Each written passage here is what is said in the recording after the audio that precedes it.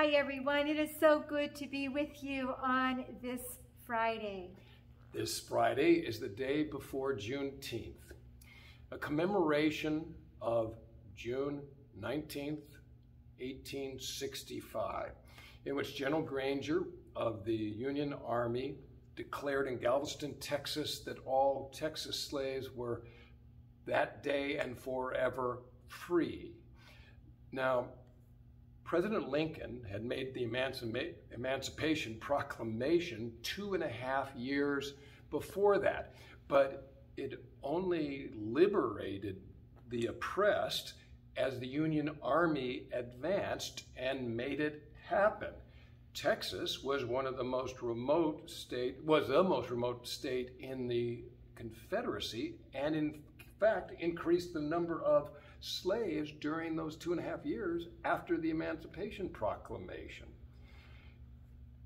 They made the proclamation, the slaves in Texas were free people, but even there, the job wasn't done. There were two border states, Kentucky and Delaware, that were allowed to have slaves, and they didn't. Uh, that didn't get forbidden and outlawed until the 13th Amendment was ratified half a year after Juneteenth.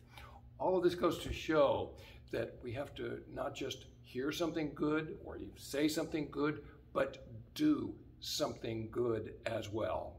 And that work continues. James 121 says, be not just doers of the word, to be not just uh, uh, hearers of the word, but doers as well. And so we're called to be doers, and that means we just don't sit aside and let things happen around us or not happen around us.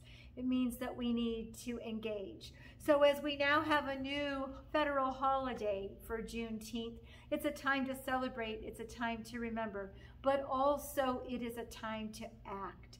And we are called to engage and to make a difference. As I was reflecting on Juneteenth with some young people today, we ended up talking about their role in helping to reduce child labor problems in the world and how they choose not to buy products that are made in sweatshops. We all have a responsibility to carry on what got started with the Emancipation Proclamation. So in the men's group on Saturday, June 10th, the men will be discussing the question, what is my part in fulfilling America's repentance from racism?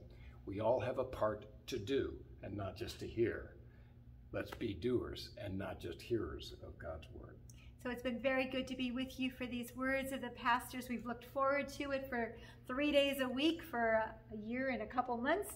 Uh, next week we move to Tuesdays only. But don't forget, we hope to see you on Tuesday. And for those of you who are local, in person for worship on Sunday. Take care. Have a great weekend. God bless. Indeed. Bye-bye.